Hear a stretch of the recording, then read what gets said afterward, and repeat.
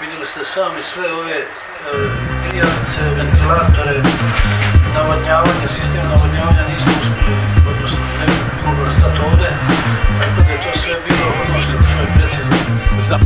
i ne dam ju dalje jer ti si premlad. Oni spuste teko elan i to na jen dva. Reperima na rebru kiruški vadim rebra. Pa ih zatim oslikavam pero Zovi me reprembran bez beda. Show odradim filmski Sve timski fanovi u miru. Sto puta dnevno Kod cetinski sranje freško Will Smith skinsi. Čak vade lipsi Zadajemo udarce zbog treba di i lip sync Frajeru, uzmi vile i pripremi baklje Palimo ti selo, silujemo bake i majke I popijemo kaleš krvi, gurnem tenis rijeku Ganges. Šupak iz Rolling on River koji Tina Turner. Standardno znanje, umri muški ti uz ritam grada Viću mi da je hard, ja ih pitam koliko gigabajta Čilaj s nama, ostano sam patike. Dok ostali su dosadni ko na gladnoj djeci iz Afrike Proljevam tvrdu repčugu po tastaturi Brišem tu melodiju i pustim bas da curi.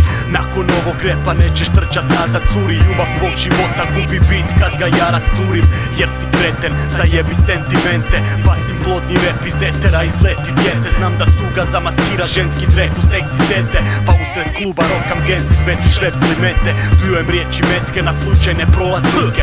Visok faktor iznenađenja je pola bitke. Neće me nitko nikad čut preko plitkog pita Srce skriptorita, kuca hip hop ritam Ništa kontra splifa brate, ja sam odraz svih vas Prijete na speed gras, kasove i fin bas Ja prijem na dim dva, ak sranje nije bimba Dodaj simga da se iskrivim oko tilda. Akju nisam sam smoto, znaš da sam na manjači Hladno krvna crnja, versove slažem u hladnjači Najjači u pero, lako je tvrd kurac sam stero svakoj svinji. Kaj ne cijeni bisere? Ne građiš tere, napoj, naboj postavljam na snerove.